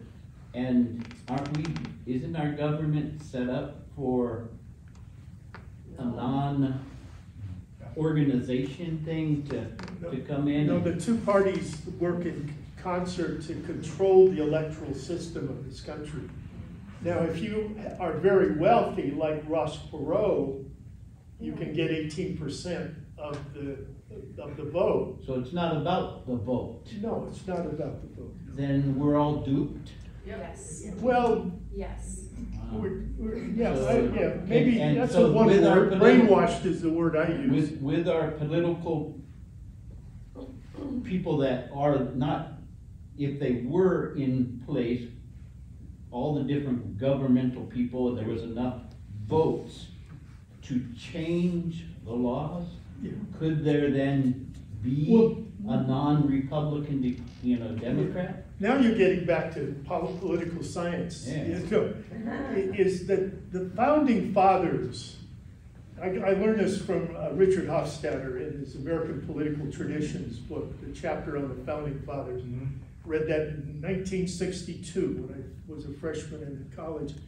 And what Hofstadter explained is the founding fathers who were the elites of that era, the wealthiest people in the colonies and now the new state, the new country, they created a system that had the illusion of democracy, but it perpetuated elite class rule because it instilled in the Constitution all of these checks on real democracy.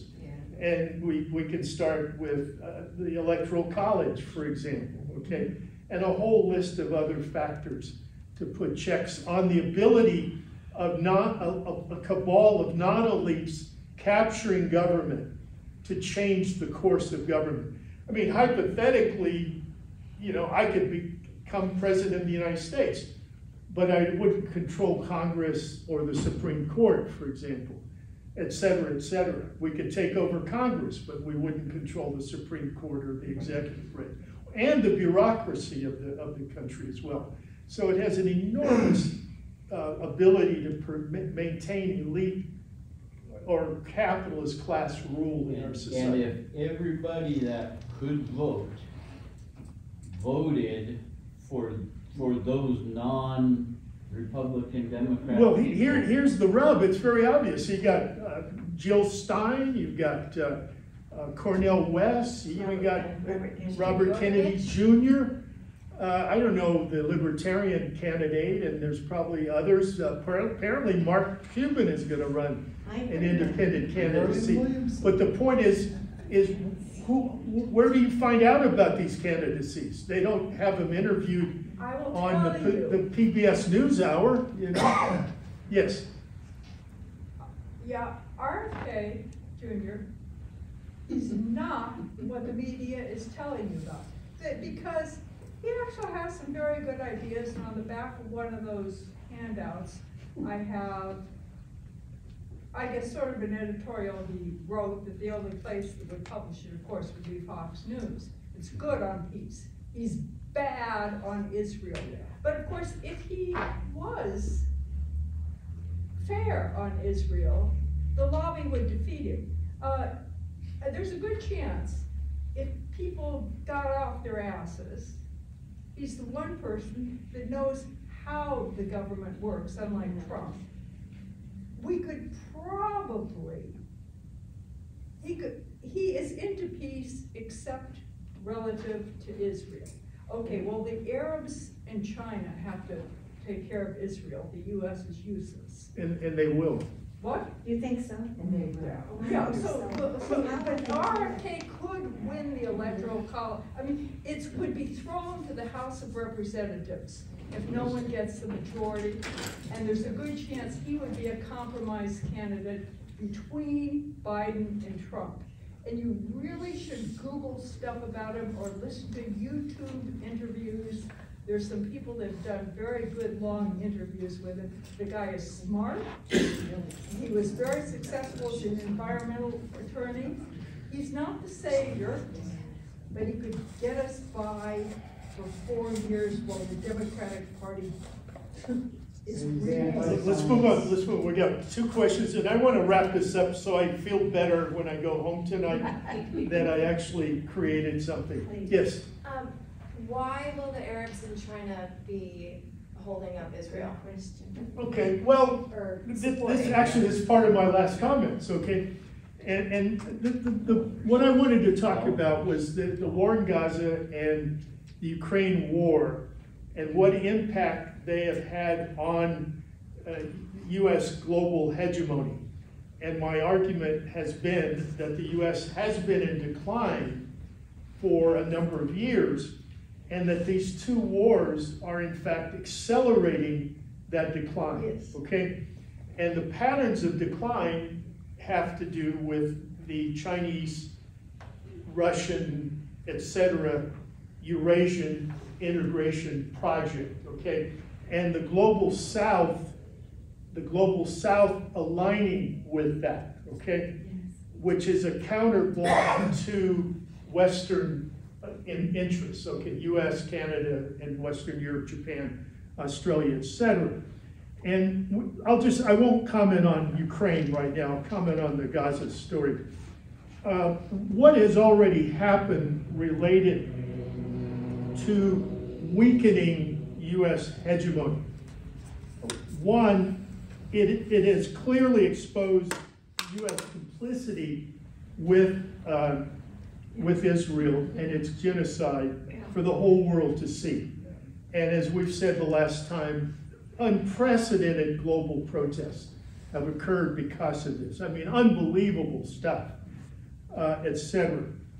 Uh, and my comment here, and part of why I can say that, is who is going to believe the United States when the next war that it wants to promote, he, they claim that they want to do this to defend democracy, human rights, and uh, the rules-based international order. Nobody's going to buy that ever again, okay? That's been put, put aside, okay? So that's number one. Two, what it's done, it has forced the uh, conservative and reactionary uh, political regimes in the Middle East to move away from Israel, okay? Uh, they, th- there's been this so-called Abraham Accord starting in 2020. In fact, the Trump administration, Jared Kushner is responsible for this, was to normalize relations between Israel, the United Arab Emirates, Bahrain, uh, Oman, Sudan, and Morocco. And Biden has been negotiating, and up until a few days before uh, October 7th, the, the uh, normalization with Saudi Arabia was accelerating, okay? That process is dead in the water, okay?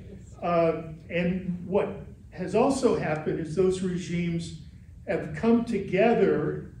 They haven't done anything concretely now, but they have met under the auspices of the Arab League and also the Islamic uh, Cooperation Organization to discuss the issues at hand. You've had conferences where Assad, the president of Iran, Raisi, uh, Sisi, the president of Egypt, BSM or whatever his name is, the, the, the Sultan of, uh, of Saudi Arabia, all these guys have been in the same room at the same table where the last 20 years they've been killing each other, okay? This has caused that to happen, okay? And then all of these delegations have gone to Beijing and they've gone to Moscow to meet with uh, representatives there. And a week and a half ago, uh, President Xi made a statement at a joint meeting of those groups along with the BRICS meetings. It was a Zoom meeting uh, where he came out and said that we need uh, to form a, a committee or a group to expedite the resolution of this crisis, meaning the establishment of a Palestinian state. Okay? Now, what this does is it just further isolates Israel in this option. And then uh, the third level is uh, this Arab, this axis of resistance as well. Uh, If, and I don't, nobody wishes this, okay? But a few years, uh, not a few years ago, let's say seven or eight or nine months ago, many of us thought that, that the Ukraine war was going to provoke a world war, okay? I can, I, I personally feel we've passed that point, okay, for a variety of reasons. But I do not feel that way related to this war in Gaza, okay? If is, Israel continues to do what it's doing, and I don't see anything that's gonna make it stop, uh, there is at a point when Hezbollah i- i- i- is gonna, is gonna invade Israel, okay? And the, and, and Erdogan is gonna be forced, if not to send his military, to send Turkish people who want to defend Palestine, similar to the Abraham Lincoln Brigade during the Spanish uh, Civil War in the 1930s, what we're going to have is a regional war. And if there's a regional war, that brings Iran in, and by this time the U.S. is involved, and you can guess what the next stage will be. Okay? So, I um, thought you were gonna end up on a good note. well, this, it's a warning. I mean, it's a warning. Uh, Whatever you like to do every day, start doing it. That's all I The, have. the draft, the Thank you, thank you, thank you. Gracias.